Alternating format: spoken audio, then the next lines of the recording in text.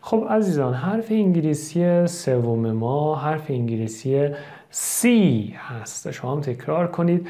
Capital C capital C small c small c. خب حرف انگلیسی C با اینکه اسمش C هست منتها صدای صداهای متفاوتی میده. یه جایی ما میگیم cat cat یه جایی میگیم کار صدای ک میده بعضی جاها.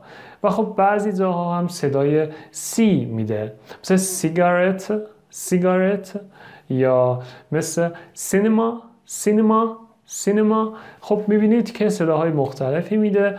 منتها فعلا با این کاری نداریم شما وقت که اینو دیدید میگید capital C و اینو دیدید میگید small c برای نوشتن حرف انگلیسی C capital C ابتدا از line اول شروع می کنیم و یک نیم دایره به این صورت می نویسیم.